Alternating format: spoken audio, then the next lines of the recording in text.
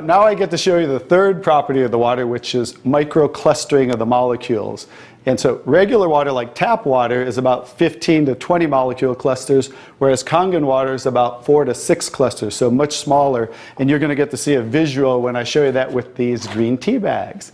So this is Yamamoto green tea. It's a, a tea that I like. And so we're going to go ahead and uh, put one of these in here in the first cup. And what do you have to normally do to make tea? You have to heat the water. So we're going to take room temperature tap water and notice what's happening. Nothing. It's not making tea, is it? That's because you have to boil the water to make tea. So we're going to take another tea bag and we're going to take the Kangen water. Notice what happens. What's happening to that tea bag? Turning into tea. It's making tea instantly. Watch what happens when I go to pour again.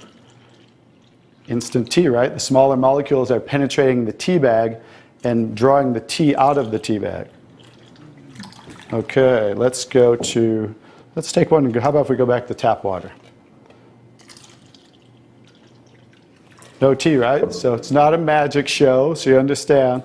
It's just the molecules are too big to draw the tea out of there. We'll go back to Kangen water.